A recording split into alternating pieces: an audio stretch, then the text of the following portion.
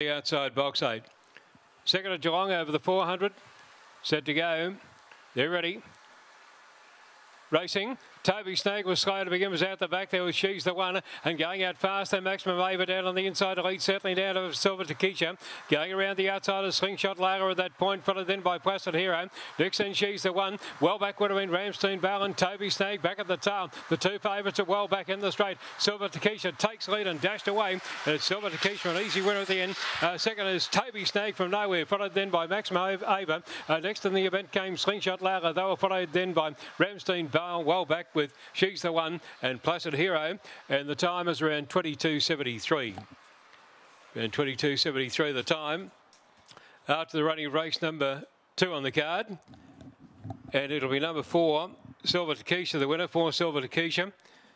Silver Takesha taking it out by Barcia Bar from Silver Cupcake.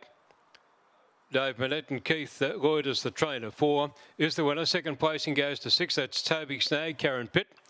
Third number three, Maximum Ava, Jordan Cooper.